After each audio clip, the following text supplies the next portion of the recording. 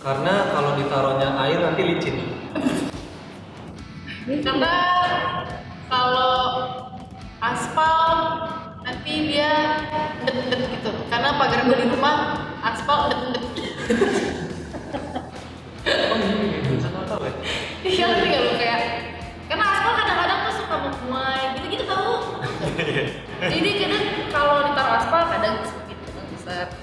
Karena orang yang didesain itu kepalanya batu banget, padahal disuruh isinya tuh pakai pasir.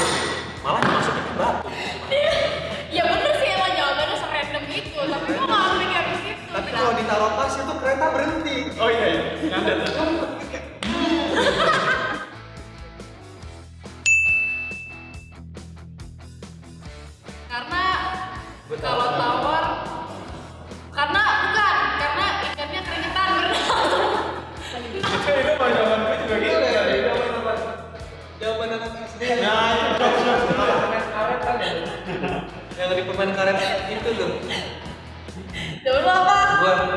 Karena orang yang ke pantai nggak pakai sepatu tuh pasti kan sepatu Oh, iya. kakinya habis pakai Iya. habis olahraga nih lepas sepatu ke pantai jadi tuh asin asinnya tuh ke bawah ke Iya. laut. si berasa lautan manusia tuh iya kan coba kan lo nggak salah Karena dengan pantulan matahari yang dari segi eh, segi 90 derajat itu mengenai air itu membuat air sangat berkeringat. Jadi oh yang keringetan air ya alhasil dengan keringat air yang sebegitunya menjadi asin. jadi yang ini airnya airnya ya Airnya. Tapi ikannya juga ikut keringetan. Saking panasnya.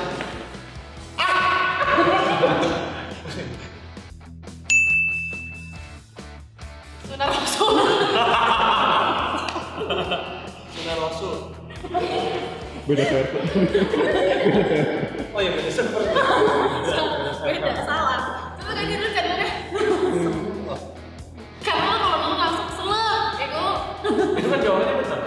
tadi bukan ya yang tadi.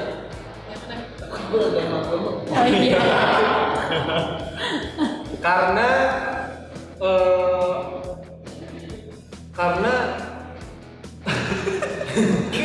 kalau nggak dikunyah ntar perut tuh bentuk makanan.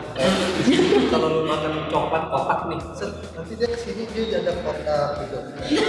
Oh ini ini ya ya ya ya Karena kalau nggak dikunyah dan dilepehin secara langsung itu biasanya nutrisi yang dibutuhkan oleh badan seorang manusia itu memang tidak terpenuhi ya. Jadi ya, oh nggak nggak ada nggak enzim Kialin iya nggak bisa jadi sekresi belum muter dulu ke usus panjang ya makanya ini masa dilepehin langsung gitu.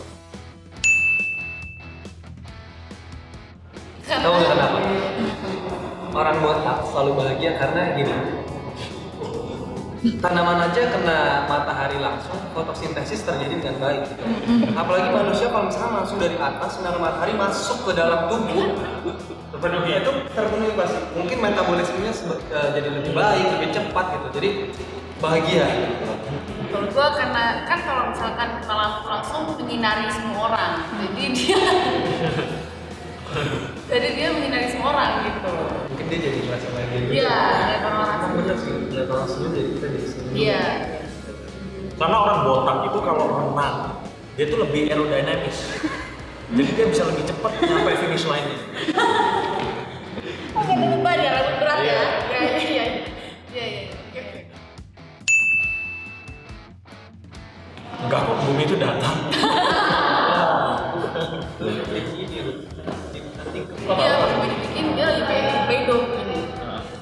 Bikinnya bulat. Dari. Oke. Kenapa bumi itu bulat? Karena kalau nggak bulat, kalau nggak bulat bentuknya seperti meja misalnya. Kita coba. Kalau dibentuk seperti meja, ujungnya bisa jatuh. Dan ya nggak sih? Ah, jadi manusia bisa terjun Dia bebas. bisa bisa terjun bebas. Tapi kita juga bisa terjun bebas dari waterfall. Jadi apakah bumi itu bulat atau tidak bulat? Kurang rata,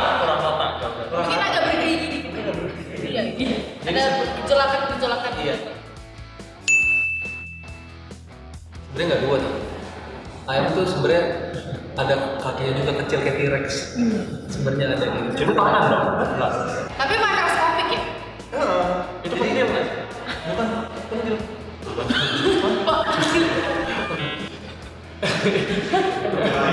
Gue begini? Kenapa? pentil buat buat isi angin nah. Dulu jangan langsung dulu. Pentil buat isi angin. apa sih Enggak tahu. ya karena, Oke, karena? ayam itu revolusi T-Rex Oke, bisa, bisa, bisa, bisa, bisa. bisa. Karena emang udah masak Masak, masak. Jawabannya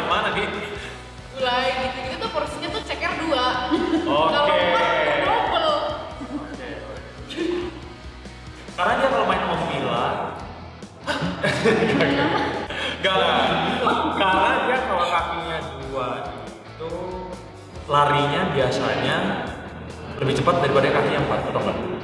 iya Karena lebih ringan, karena lebih ringan. Kalau empat itu terlalu berat untuk seekor ayam. Iya, oke. Kenapa cinta itu buta? Karena dia di dalam sini nggak bisa ngeliat. Oh,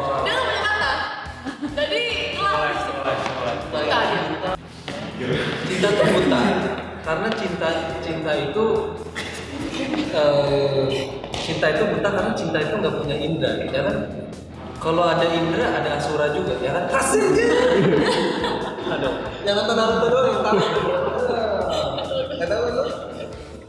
Basket. Jadi kalau pemikiran saya ya, cinta itu memang harus buta. Karena kalau kita ingin mencintai seseorang, cintanya itu harus membabi buta. Anjir. Ya. Tapi Banyak. Kita cinta, cinta, cinta, cinta.